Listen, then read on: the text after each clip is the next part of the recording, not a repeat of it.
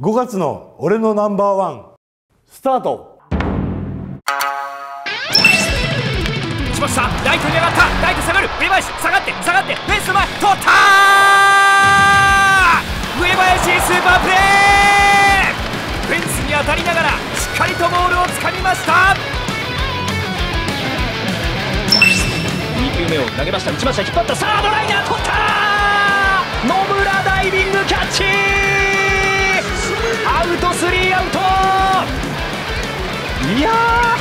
ものすごいプレー出ました。4球目を投げました。引っ掛けました。サード前のゴロボールを取るショートが一塁に送球する。どうだ？アウト！一塁菊池ヘッドスライディング及ばず。判定はアウトになりました。これはサードショートファインプレー第2球を打った菊池の当たりはセンターの前。センター前進シュートを滑り込んでキャッチ。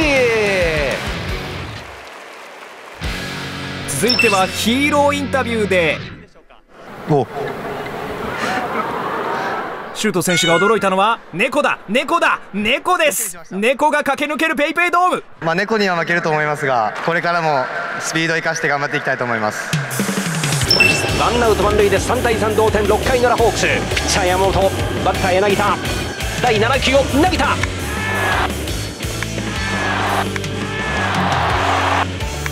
打ちました。左中間に上がった。打球ぐんぐん伸びていく。確信歩きをしている。入ったホームラ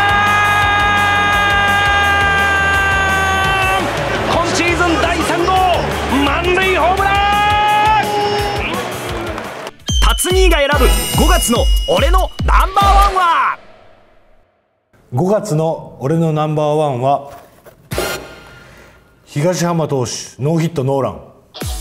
9回の表ライオンズの攻撃。ツーアウトランナーがありません。マウンド上の東浜。ノーヒットノーランまであとワンアウト。振りかぶって第7球を投げました。打ったピッチャーの足元ゴロ。セカンドのボール。前ボール取る。三森一塁に送る。アウト。東浜のノーヒットノーラン達成。東浜直本拠地ペイペイドームで快挙を達成しました。どうしてでしょうか？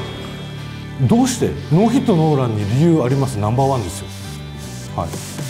そのボールが低めに集まっていたんでやっぱり内野ゴロが多かったっていう。外野フライ一つっていうのもやっぱり、えーボールが低く集まってるんでなかなかこう遠くに飛ばせないというかね。そういうピッチングでしたね。1 5 6言ってほしいですね、はい。ではノーヒットノーランがなかったとしたら？あの渡辺育選手。初スタメンの試合で、え1打席目ホームラン。2打席目も連続ホームラン。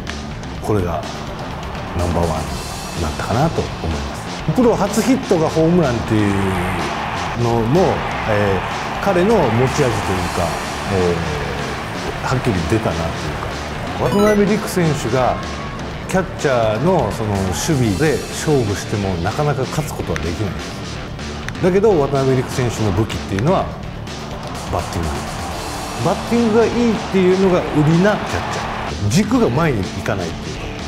かだから強く回れる。前に行って回るんですね軸がぶれないので強いスイングができる。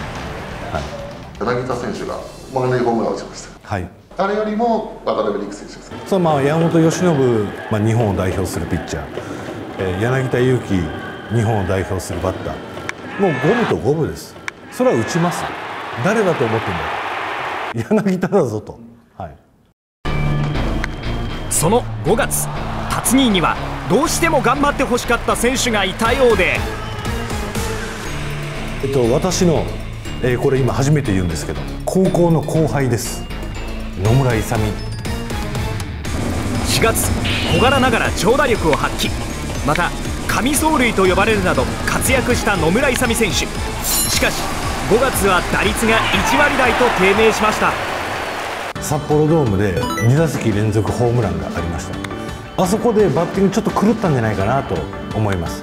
野村選手はホームランを30本打つバッターになれるかなっていうところになるとやっぱり今年今宮選手が好調なようにやっぱりホームランは少なくなるけども、えーセンターまた逆方向っていうバッティングをすることによって今宮選手今年好調じゃないですか。だかそういう選手を目指してほしいなと思います。バッティングの確実性を上げていく。そういうところですね。